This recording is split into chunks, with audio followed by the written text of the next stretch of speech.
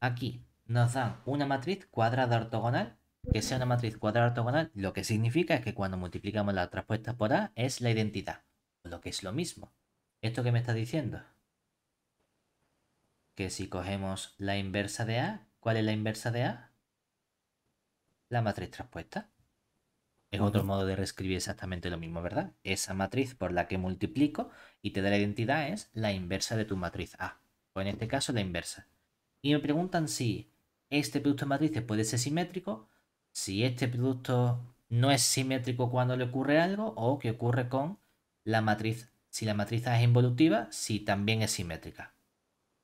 Bueno, pues vamos a tratar de ver qué situación tenemos, ¿no? Es decir, podemos comprobar, como tengo tres opciones, vamos a estudiar qué ocurre con este primer producto porque aparece dos veces, ¿no? Entonces, comenzamos estudiando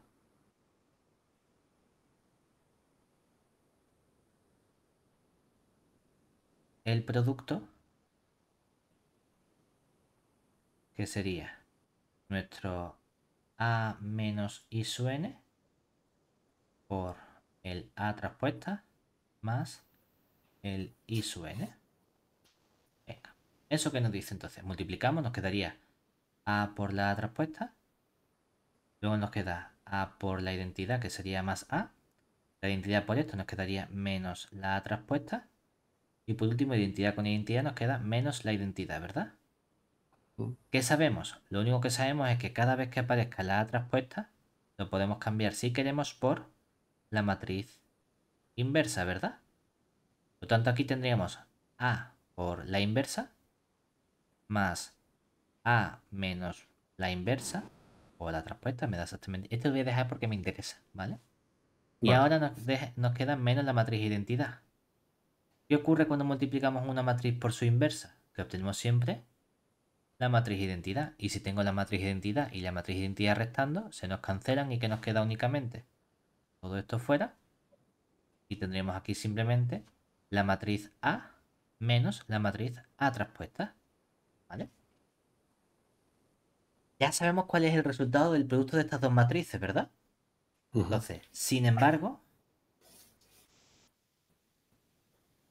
para comprobar si este producto es una matriz simétrica, ¿qué ocurre? Pues tenemos que estudiar el A menos identidad por el A traspuesta más identidad.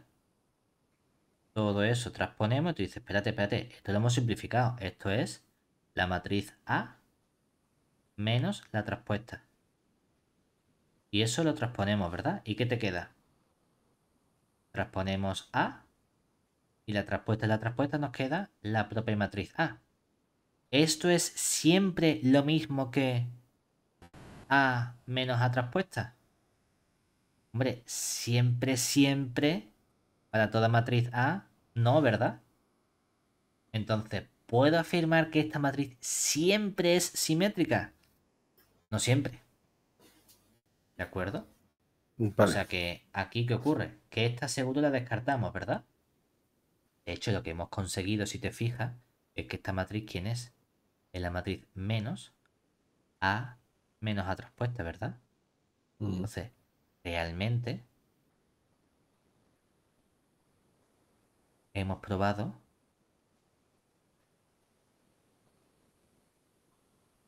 que es antisimétrica, ¿verdad? Claro. claro. Aunque no, me lo piden, pero bueno. ¿Vale? Esta la descartamos.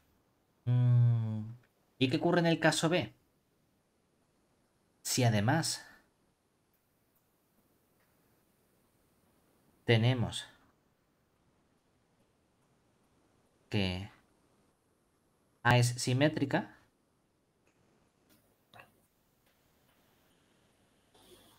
entonces, ¿qué relación hay entre la matriz A y la matriz A traspuesta? Son iguales, por lo que, ¿qué ocurre cuando tú multiplicas la matriz A menos identidad por A traspuesta más la identidad. Que esto nos había quedado la matriz A menos A traspuesta y como es simétrica, esta diferencia vale la matriz nula. ¿Qué le pasa a la matriz nula? Que la matriz nula es una matriz simétrica siempre, ¿verdad? Mm. Caso muy sencillo. Pero claro, No hay manera ¿eso que qué no sea significa? simétrica. Que esta matriz siempre es simétrica, ¿verdad? Por lo tanto, también tenemos que descartar que si la matriz A es simétrica, esto puede no ser simétrica. No, es que te queda la matriz nula que siempre es simétrica. ¿Vale? Claro, tú dirías, ostras, pues por descarte obviamente tiene que ser la tercera. Bueno, vamos a estudiarla, ¿verdad? Es decir, Mm. vamos a ver que efectivamente esta tercera es la correcta. Taca y taca. Ahora, si la matriz involutiva, si A cuadra la identidad, vamos a probar que la matriz A también es simétrica. ¿Cómo probamos eso? Pues claro, en el C, por último, si A cuadrado es la identidad, en particular,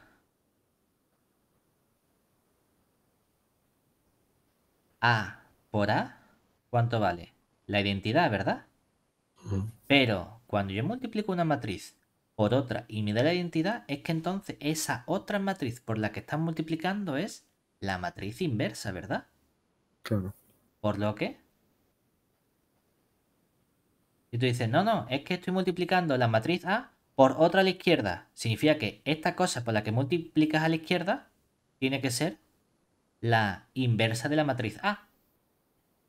Entonces, resulta que la inversa es la propia matriz A.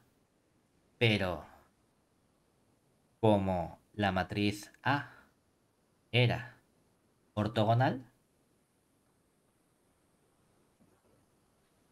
teníamos que ¿cuánto valía la inversa de la matriz? Hemos dicho que la inversa de la matriz era la traspuesta, ¿verdad? Pues si aquí estamos diciendo que la inversa es la matriz A y aquí estamos diciendo que la inversa es la traspuesta, es que entonces, ¿qué ocurre Son con la matriz A y la matriz A traspuesta? Que son iguales, ¿verdad? Claro. Por lo tanto, la matriz A es igual que la matriz A traspuesta, es que mi matriz es simétrica. Efectivamente, la respuesta correcta es cuando A sea involutiva, también es una matriz simétrica. Efectivamente.